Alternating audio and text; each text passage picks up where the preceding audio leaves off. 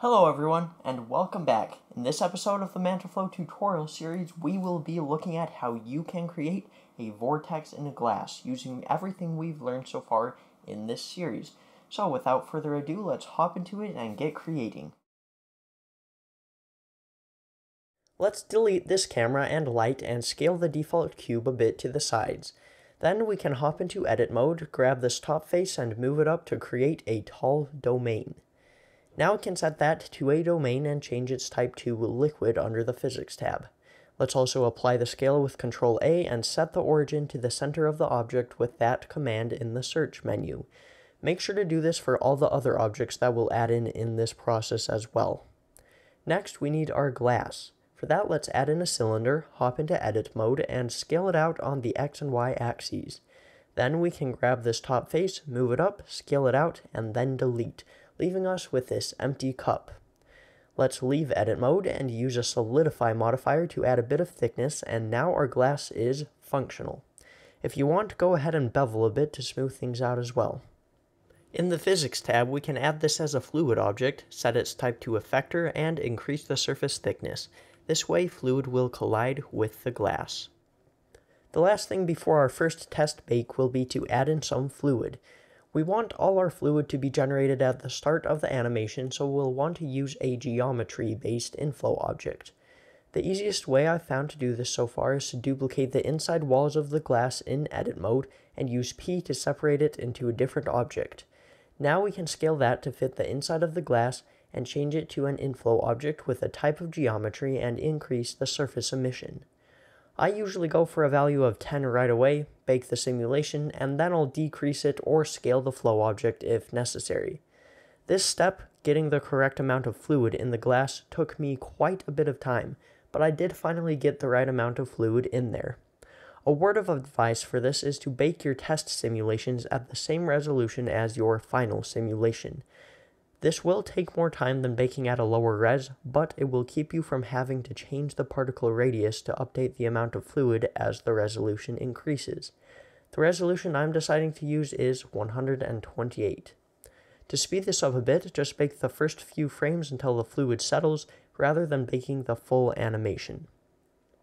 If you end up with little droplets of fluid phasing through the glass or splashing over the sides, just add in some strategic outflow objects and try increasing the amount of time steps in the domain settings.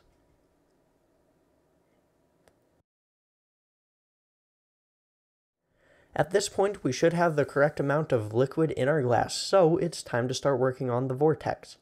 I am going to use a vortex force object for this, but you could also do it with a rotating guide object, somewhat like what I did for this simulation from last week's video on materials. Either one works, but I'm going to show the vortex object today. Let's add in that force object and position it near the bottom of the glass. Let's also move that to its own collection and name it so we can keep track of it later. In the domain settings under the field weight section, let's select that collection to use as our force object collection. This way the domain will only be affected by force objects in that collection. We'll want to wait for the liquid to settle a little bit before the vortex starts spinning, so let's keyframe the strength and inflow at 0 on the first frame, and then scrub to the 50th frame to put in our second batch of keyframes. The strength value will control the overall strength of the vortex, and the inflow value will dictate how strong the force pulling the fluid down into the vortex will be. Having a high strength value but no inflow will result in fast moving fluid, but the fluid will not come downwards and form that spiraling shape. I set these values at 2 and negative 1.2 respectively and insert another keyframe. So I am currently editing together this video and I usually build the simulation a second time once I've re-recorded the audio because I don't record it the first time when I'm just testing out the simulation to make sure it'll work. The thing is, the values I used in that script are not matching up with my second simulation. The first and the second are the same, and that's probably because of some little things that I've done differently, like having a different seed on the vortex, or doing something different with the scaling of the objects, and the thing to learn with that is that your simulation will not exactly be the same as mine. You're going to have to do some testing, bake it a couple times, and find the values and the keyframing that works for you and gives the result you want. So keep that in mind. Let's get back to the video. Let's do a few more keyframes to taper it off at the end so the vortex can dispel itself as the animation finishes out. And with that, we're mostly done with the setup for the fluid part of the simulation. Go ahead and bake the animation, and bake it to a mesh as well. If you want some particles, you can go ahead and do that. Just remember that this is a smaller scale simulation as it's inside a glass, so we maybe don't want a ton of particles there.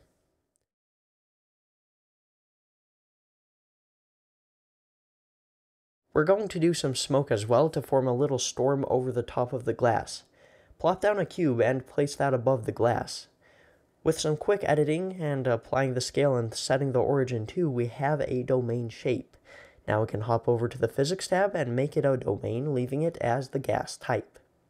We need to add in a UV sphere to generate the gas. I'm going to scale it sideways and set this as a flow object. Let's leave this on smoke and change it to an inflow. Now, scrolling down to our emission settings, we want the smoke to appear over time. So let's start with a strength of 0 for both of these values and increase it to a value of 1 in the volume emission over 60 frames or so. This will make it so the smoke won't suddenly appear at the beginning of our animation. Another thing for this would be to start with a very small scale on our flow object and then increase the scale over about 60 frames, keyframing it of course, to leave us with this growing cloud vortex. We need a second force object for our gas, so let's create a collection and a new vortex object for that, selecting the said collection as our force objects collection in the smoke domain settings. The strength values I settled on for this vortex object is negative 1 on both the strength and inflow values, but you will likely need to change and tweak these, as your scene won't be exactly the same as mine. Let's also throw in some keyframes to ramp the speed up from 0 at the beginning and ramp it back down to 0 at the end of the animation. We can change a few fall off settings for shaping the vortex, so let's do that too. If we leave the shape as sphere but change the direction to positive z, the power of the vortex will decrease in force as we move further away upwards. The power is the value at which the force decreases, so I settled with a value of 0.4. Let's also increase the noise a little bit and then we'll head back to the domain settings. Over here, we'll want to change the buoyancy density and buoyancy heat down to zero so that the smoke won't rise and disappear out of our domain. Also, because our object is set to inflow, we'll want to toggle on dissolve, so that way the smoke will disappear after a set amount of time and the domain won't completely fill up with gas. Now, we can go ahead and bake our smoke simulation and bake some noise as well. I'm going to increase the scale value for my noise to 4 to get larger billows. And once that's done, we should be looking pretty good. Now it's time for some materials and rendering. You all should have watched those two videos on smoke and liquid shading before this, but I won't hold it against you too badly if you didn't. The material for the glass will be pretty basic. A high transmission, a low roughness value, and maybe use some box projection with a fingerprint texture to get some roughness in there. Also, we can run that fingerprint texture through some nodes and use some procedural mixing with noise textures too. The last thing would be to change the IOR to the value for your material, glass in this case, which has a IOR of about 1.5. For the fluid itself, we have a few things we can do. The most basic would be to create a generic liquid shader with a low roughness, a high transmission, and tweaked IOR value, somewhat like the glass. You could change the color a bit, and that would also look pretty decent. I eventually settled on something else entirely, but feel free to do whatever you wish with this shading. I don't want you to make a direct copy of what I'm doing here. I ended up adding in a gradient texture set to the easing mode and used it as a factor on a mix node plugged into the emission. I had to do some movement editing on the gradient with a mapping node, but I also used that node to keyframe its location and make it so the emission only occurs once the vortex starts to get spinning. Pretty cool stuff. As for the storm cloud, the material will be pretty basic. I just did a principled volume node, plugged the density of the volume info node into the density with a multiply math node, and changed the color to be a bit darker. A few more things I want to touch on that can really spice up the simulation. Number one is particles. If we add in a circle and move it right under the smoke flow sphere, we can parent it with Control P. Now it will scale with that flow object. With this, we can add in a particle system and set it to render as a stretched out sphere, and now we have some quick rain particles. Make sure to update the lifetime value so that they don't phase through the bottom of the glass. One more thing we can do with some particles is add in some lightning. For this, let's add in a second particle system, and, well, we don't want too much lightning, so a value of 30 or 40 on this emission should work great. Change the lifetime value too, so that they only stick around for a frame or two. Next, edit these start and end values, as we don't want much lightning when the storm is small. We also don't want it to fall, so let's disable gravity for this particle system under the field weights dropdown. Now, to create some objects. Add in a cylinder and scale it on the X and Y to make it very thin. We can select these bottom vertices and bring them down to make it take up about the same distance as from the storm to the bottom of the glass. We mainly just want to make sure that the origin of the cylinder is still at the top. The last thing here is to add in a bunch of edge loops with Control R. Back in object mode, let's add a displace modifier. Create a new texture and hop over to that tab to make some modifications. The texture I used is a distorted noise texture with a high size and amount value and a lowered contrast value under the colors menu. We don't want this to be strictly white and black. If we go back and increase the strength on the displace node, we'll get something like this. Now obviously it's not quite there yet, but watch what happens if we change the direction to the X or the Y option. At this point, we can select the texture coordinates and change them to global, duplicate and rotate this a couple times, and we've got some nice lightning going on. To complete this, let's move those to their own collection and set the particle system that we created to render as that lightning collection. Since the origin is set to the top of the cylinder, it will start from our particle circle and beam down into the glass.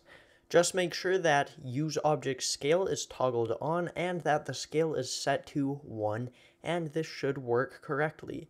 Now just assign a glowing material and your lightning is done. This video has already gone on long enough, so I'm not going to talk much about lighting or the environment. I will recommend using an HDRI environment map just so the liquid and the glass has something to reflect, but that's the most I'll say on that. Just go wild, experiment, and when you're done, post your rendered animation somewhere and a link to it in the comment section down below.